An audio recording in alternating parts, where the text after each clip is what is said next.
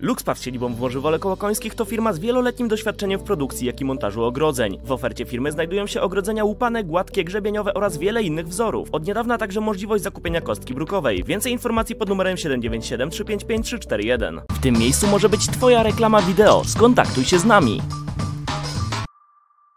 Parkiet z najlepszego materiału do obiektów sportowych, czyli klonu kanadyjskiego, jest już niemal ułożony w hali sportowej przy szkole podstawowej nr 2 w Końskich. Niebawem obiekt będzie mógł przechodzić odbiory, tak by w pierwszej części roku szkolnego 2024-2025 był już w pełni użyteczny. Tuż obok hali powstaje też zupełnie nowe boisko szkolne. W sumie cały obiekt kosztuje 15 milionów 600 tysięcy złotych, a duża część tej kwoty pochodzi z dofinansowania z Polskiego Ładu. To nie tylko hala, bo inwestycja składa się z trzech odrębnych części połączonych ze sobą integralnie. To jest sam obiekt sportowy, hala pełnowymiarowa. Tu będą możliwe rozgrywki w siatkówkę, koszykówkę. Będzie też możliwość przedzielenia parkietu na kilka odrębnych autonomicznych. Druga część to zaplecze samej hali. Dzięki temu możemy odciąć halę od szkoły i tylko z niej korzystać. Oprócz głównego parkietu są tu szatnie, natryski, toalety, pokoje na sprzęt sportowy, pokój na narady sędziów. Część łącznikowa to wszystko zawiera. Natomiast trzecia część obiektu to boisko wielofunkcyjne chronione piłkochwytami. Kończy się układanie parkietu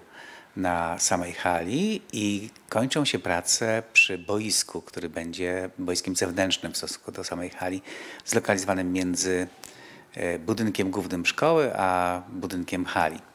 No, pozostanie oczywiście jeszcze szereg prac wykończeniowych, dokończenie ogrodzenia.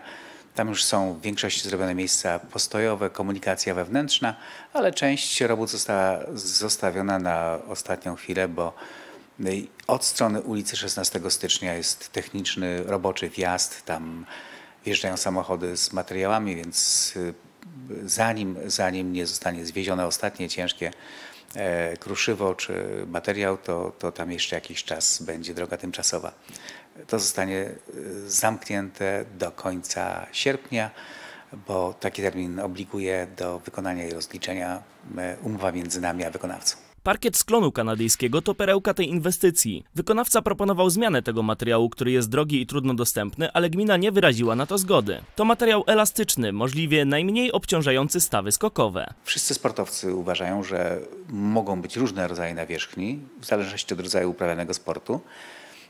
Podłogi drewniane mają swoich zwolenników i jest ich pewnie zdecydowana większość.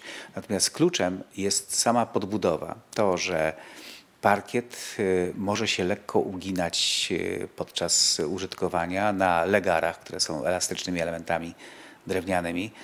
To odciąża y, stawy, odciąża układ mięśniowo-kostny, powoduje, że ten sport staje się rzeczywiście zdrowy, a nie będzie przyczyną jakichś dolegliwości w późniejszym wieku, czy jakichś urazów w trakcie korzystania. Obok obiektów sportowych przemianę przeszła szkoła. Otrzymała ona odnowioną elewację, która ma być jednolita. Pojawiły się też drogi wewnętrzne, miejsca parkingowe, a obecnie kończą się roboty przy ogrodzeniu. Kompleks w nowej odsłonie w pełnej krasie zobaczymy już za kilka tygodni. Warto dodać, że ma on służyć nie tylko szkole, ale i wszystkim mieszkańcom oraz stowarzyszeniom i klubom sportowym.